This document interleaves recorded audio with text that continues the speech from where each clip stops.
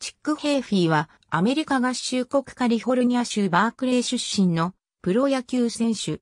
右投げ右打ち。当時はまだ珍しいメガネをかけた強打者だった。1923年にブランチ・リッキーの目に留まったことがきっかけで、カージナルスと契約、キャンプでは投手を務めていたが、打撃練習の様子を見ていたリッキーが外野手へ転向させたそうである。1924年にメジャーデビュー。24試合に出場し22打点。253の成績を挙げた。ヘイフィーは視力があまり良くなく、当時としては珍しく、メガネをかけてプレーしていた選手だった。性格は非常に内向的だったが、強烈なラインドライブを打つ打撃スタイルだったという。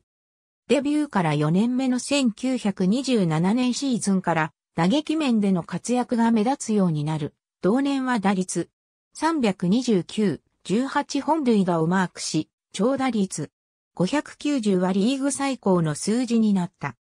翌年から1932年までの5年間は、いずれもシーズン打率で333以上をマーク、1928年からの3年間は100打点以上を上げる活躍をした。また1931年には打率344で首位打者のタイトルも獲得し、ナショナルリーグの最優秀選手候補にもなっている。1932年にレッツにトレードされる。1933年にはこの年初めて開かれたオールスターゲームにも出場したが、2年後の1935年以降は、副鼻腔の炎症から来る視力の障害に悩まされるようになる。同年は15試合しか出場できず、1936年は丸1年出場しなかった。結局その翌年の1937年に現役を引退したが、その時はまだ34歳だった。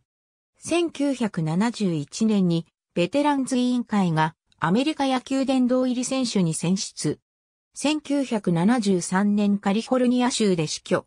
ありがとうございます。